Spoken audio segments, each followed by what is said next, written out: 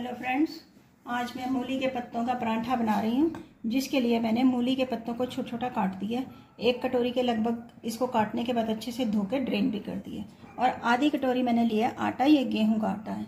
एक मूली को मैंने ग्रेट कर दिया अदरक भी ग्रेट कर दिया हरी मिर्च, नमक, चाट मसाला, अजवाइन ज़रूर डालें।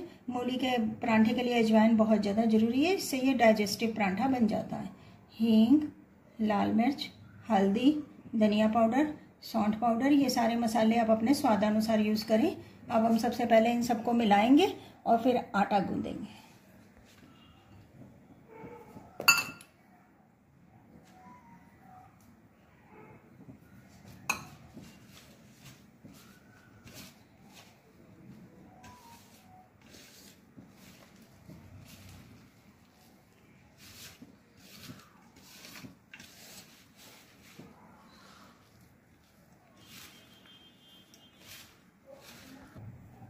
इसमें एक चम्मच सरसों का तेल भी मिला दें और आवश्यकता अनुसार पानी मिलाकर आटा गूंदें।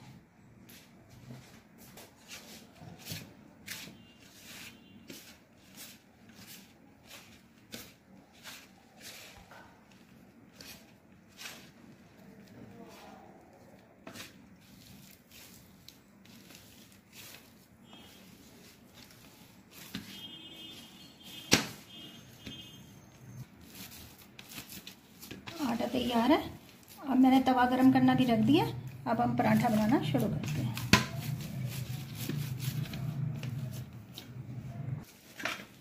अब हम पराठा बनाना शुरू करते हैं। बड़े छोटे जैसे भी आपको बनाने हैं, उतनी लोई ले लें और थोड़ा सा आटा डस्ट करेंगे और फिर पराठा बेलेंगे। इस पराठे को थोड़ा सा मोटा ही रखें, ज़्यादा पतला ना करें, क्योंकि ज़्यादा पतला अच्छा नहीं लगेगा, थोड़ा मोटा होगा तो उसका टेस्ट बिल्कुल ऐसे आएगा जैसे राजस्थानी टिक्कड़ होता है।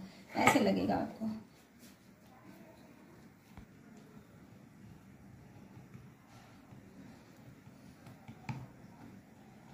मैंने ये इतना मोटा रखा है अब इसका टेस्ट देखना कितना बढ़िया आएगा।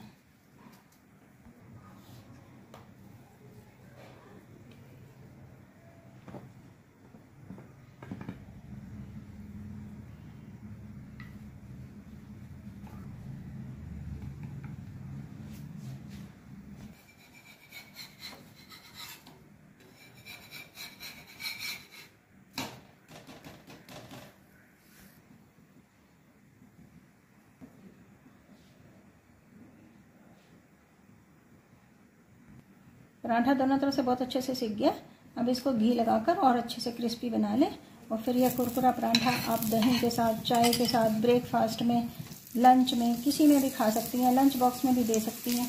तो यह पराठा बहुत ही ज़्यादा स्वादिष्ट लगता है, ज़रूर ट्राई करें।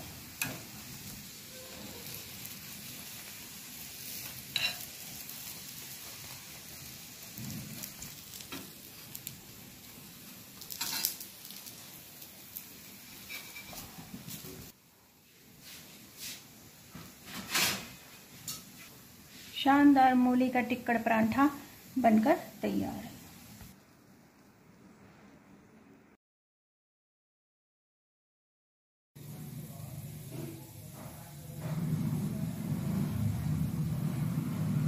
फ्रेंड्स आज हम मक्का मूली का पराठा बनाएँगे, जिसके लिए मैंने मूली को ग्रेट कर दिया धनिया पत्ती, कच्ची हल्दी, हरी अदरक, हरी मिर्च, मक्की का आटा एक कटोरी, दो चम्मच सरसों का तेल, नमक, चाट मसाला, हींग सोन पाउडर, लाल मिर्च और अजवाइन। इन सबको मिलाकर सबसे पहले आटा लगाएँगे।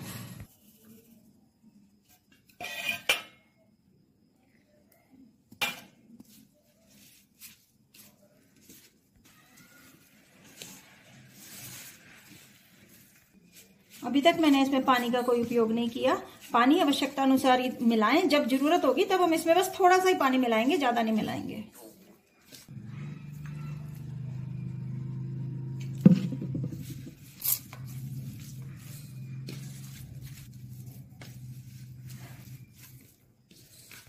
जैसा हम मक्की की रोटी बनाते समय आटा गूंदते हैं ना, बिल्कुल वैसे ही आटा गूंदे, उसी प्रकार का ही आटा गूंदा जाएगा।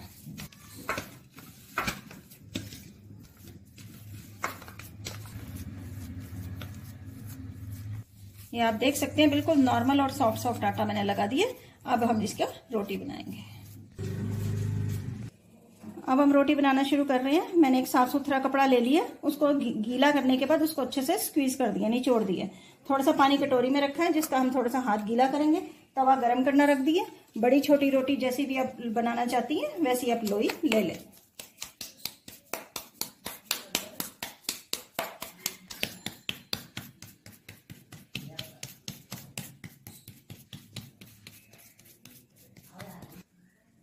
रोटी को ज़्यादा जो हम परांठा बना रहे हैं, उसको ज़्यादा पतला ना करें, क्योंकि अगर आप ज़्यादा पतला करेंगे तो आपको ज़्यादा अच्छा टेस्ट नहीं आएगा। थोड़ा मोटा रखोगे तो इसमें आपको मक्की की बाटी होती है ना, बाटी बाफले, उसका भी टेस्ट आएगा।